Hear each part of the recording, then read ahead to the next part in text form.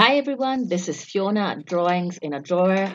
My gosh, it's been ages since I last uploaded a video. I'm so sorry about that, but we all know what sadly has been going on in the world, what has still been going on. I still feel absolutely, it still feels absolutely crazy. Of course, I, like most of you, had other priorities like homeschooling my kids, etc. Anyway, let's just jump right into this new video as you can see, I'm unboxing this set of White Nights watercolour paints. They're beautiful full pan paints which hail from Russia and are somewhere between student grade and artist grade. I believe they're definitely a good bargain and personally I love full pans because it's so wonderful to be able to scoop up all that paint without having to worry about picking up some of the paint in the next well or damaging the bristles of your watercolour brushes. Um, this palette comes with a swatching card and a plastic, let's call it mixing tray, which I personally find really handy. The pans slide around the box, so I later went in and stuck them to the bottom of the box with Blu Tack or Patafix or whatever it is you call it in your country. It's kind of like kneaded eraser. Uh, actually, maybe kneaded eraser might do the job just as well. As you can see, I'm unwrapping this cadmium yellow, which is the first pan in the box. And the wrapping's kind of sweet, actually like candy wrapper. These looks like look like chocolates. And yet the pans are nice and full and the colours are vibrant. Sorry about that nail polish, but that's the way it is. I don't think it's going to get any better anytime soon. So um, well, I just wanted to, you know, before discussing these paints and my painting process and how things have evolved during this crazy, crazy, crazy time, I just wanted to ask you, how are you? How are you all guys? Have you been painting? Have you felt stuck in an art block? I feel people have been swinging between these two positions a lot, and I think it's absolutely normal. I always find uh, Instagram helps a lot uh, I only follow art accounts. So every time I go on Instagram, I am flooded uh, with art by some of my favorite artists. And I find that really gets the cogwheels turning and blows the cobwebs away. In fact, I think Instagram art accounts were what got me into watercolor in the first place. When I know I don't have much time on my hands, which is quite often recently. I try not to go on there too much because as soon as I see someone painting something that I like, I just get that urge to dash down to my so called art studio slash spare room or storage room and grab my paints and start painting. What inspires you when you're in an art block? Let me know if you if you feel like it. So um, I would definitely. Um, I know in the past I made a video where I thought I said I claimed that the Japanese watercolors Kuretake Gansai Tambi would be the best option for a beginner looking to, you know, learn and dive into the world of watercolor without splurging, you know, too much money. But after trying the White Nights, I would definitely say that at less than 30 euros, which is about more or less the same, maybe $30, or $32 on Amazon for 24 full pans. The quality of these watercolors is really, really high, considering the paper I am swatching them on is not uh, 100% cotton watercolor paper, so it's not high quality watercolor paper. The, um, the result you would see on a high end uh, watercolor paper would definitely be much better than what you're looking at uh, on this video.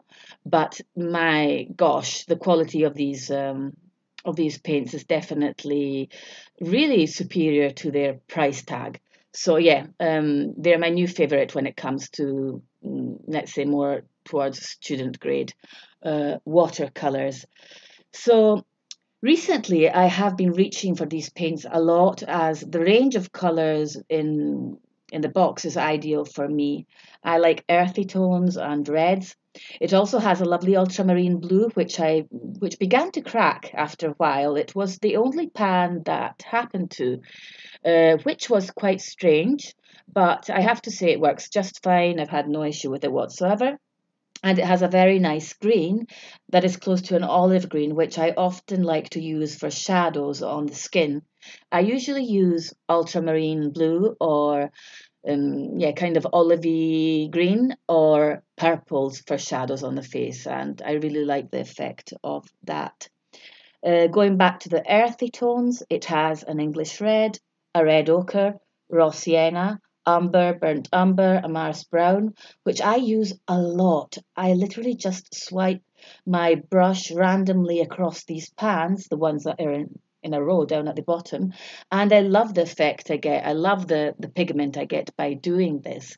And it really does have a lot of earthy tones for those of you out there who like earthy tones. For a 24 pan palette, it does have a lot of those. I also really love the Madder Lake Red Light it has, and I use that a lot for the skin, um, for mixing with the yellow ochre. Yeah, mix it with the yellow ochre, and it gets a nice kind of, um, let's call it, um, skin color. Well, I am going to continue swatching these paints, and if you don't like watching swatching, I will just let you know that if you jump straight to uh, minute 7.40 seconds, you will be able to uh, check out my painting process. I will be painting a portrait with these watercolors and I will be talking about how my art has developed over the past few months and how I'm feeling about it and more artsy stuff. So that if that's more your thing, I'll see you in a few minutes.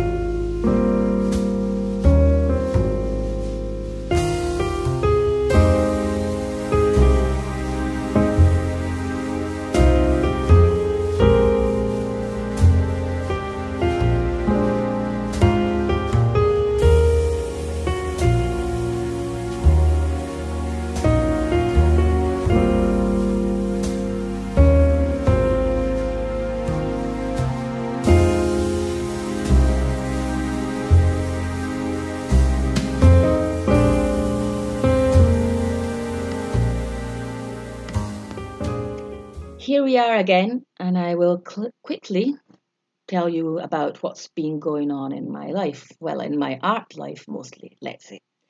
Some of you might know I live in Italy and we went into lockdown early in March. It was very scary. We were, I believe, the first country that was struck hard in Europe, so we had no idea uh, as to what was going to happen because basically we had nobody to look at. Uh, I still remember the day they announced the schools were closing and all the kids were jumping up and down for joy, and I literally thought they'd be back at school the following week. Little did we know they wouldn't be going back at all. Not until September, at least, which is after the summer holidays, which is a long time from March till September. That's mind blowing. Well, all of it is just well, anyway, I promised myself I wouldn't talk about this too much. Um, this is an art channel and we are going to talk about art. So I really ended up painting a lot during the lockdown. Every evening at six o'clock, I'd sit down and paint for three hours, two or three hours, maybe not always three hours straight. And it became my ritual, my calming ritual, my time off, or maybe I could call it my time in and I noticed my style was starting to change. I always try to convey an emotion through my pieces, even when I used to only use pencils and just draw. Uh, either through poses, hands very often can express strong emotions, or entwined limbs. But in portraits, of course, it's most often the eyes that become the focus. And that became even more fundamental for me. And I began to feel that I needed to paint looser to get in the zone and go more towards getting that impression down on the paper rather than being super fussy about all the little details. I started telling myself, or rather, I started realizing that I wanted to create puddles and splatters and then have something peek through that. And well, it isn't easy. It wasn't, and it still isn't easy because in watercolor, I feel losing control is actually learning to dare to create an absolute mess, which is scary, and being able to get it to go in the direction you want it to go in, or just basically being happy with what you end up with, which is not very easy because, as most of you probably know out there, it's rare for an artist to be super happy with what they do.